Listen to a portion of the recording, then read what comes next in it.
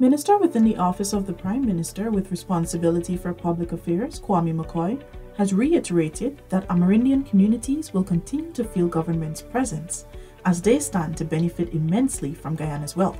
The minister made these remarks during a visit to St. Cuthbert's Mission on its 134th anniversary. We will continue to be your partners in development.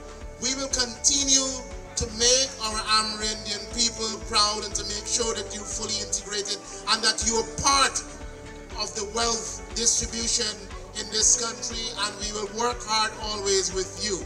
St. Cuthbert's Mission is a small indigenous community on the Soesdyke-Linden Highway. President Dr. Mohamed Irfaan Ali paid a visit to the community over the weekend where he affirmed that government will continue to assist in expanding the village's ongoing agricultural ventures. Additionally, the community is set to benefit from infrastructural and capacity building initiatives.